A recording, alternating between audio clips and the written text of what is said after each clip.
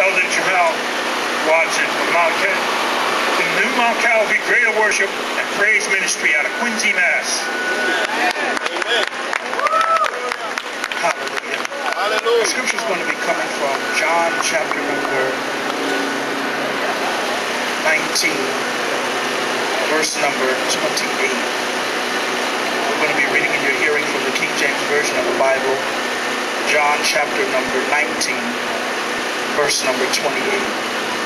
And it reads this wise After this, Jesus, knowing that all things were now accomplished, that the scripture might be fulfilled, saith, I thirst.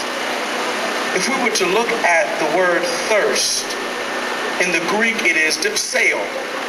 It means to suffer thirst, to suffer being thirsty. It means those who are said to have a painful feeling, an eager longing, a soul that needs refreshing. It means someone that needs support, that needs strength and nourishment. Webster declares that thirst is a strong or eager desire or a craving for something. Jesus, at this particular point in the Passion narrative, was reaching the climax of his purpose for being on earth. Jesus had been born, he lived a sinless life, and he is now being crucified. All the while, Jesus knew that purpose was to be fulfilled through his suffering. Through his pain, purpose was being produced. That purpose was the salvation of all that believed upon his name. That purpose was to bring us back into right relationship with the Father God. That purpose was to be a living example of what we should be, of what we could be, of what we would be, living sacrifices unto God. Jesus knew that his pain would grant us access to the throne of God, that his pain would give us a chance to be called the children of God. Though what he experienced was painful beyond what any of us could endure, Jesus endured it that we might have everlasting life. At this particular juncture, when he cried, I thirst, he was not simply crying out of a dry mouth. He was not simply crying out for a drink of water because he is the living water. He was not simply crying out for nourishment because he is the bread of life. He was not simply crying out for something material because he is the supernatural God. But I believe that Jesus was crying out on behalf of us. All of us that need our souls to be revived. All of us that need our souls to be saved through him. I believe Jesus felt the desperation of our sin-filled souls that we knew that only him could be the, the reparation for our souls. Only him could quench our thirst.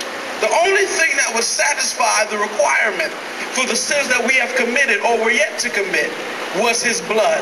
So there was no substitute. There was no artificial preservatives. We needed the real thing, Jesus. And there was nothing less that could do it but Jesus because he is the Lamb of God which taketh away the sins of the world. So Jesus began being the Son of God to fulfill the scriptures. And seeing that all of the scriptures were already fulfilled, he began and said, I thirst. Even he described it in the Beatitudes. Blessed are them that thirst and hunger after righteousness, for they shall be filled. And so he cried out, I thirst. The question I leave with you today is, what are you thirsty for?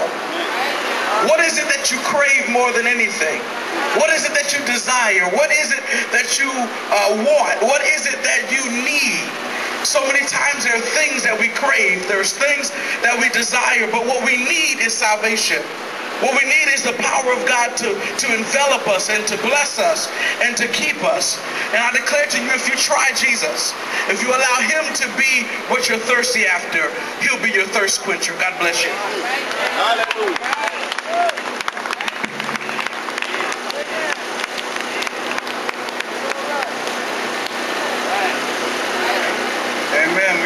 Amen. We got these young people preaching today. Yes. Lord.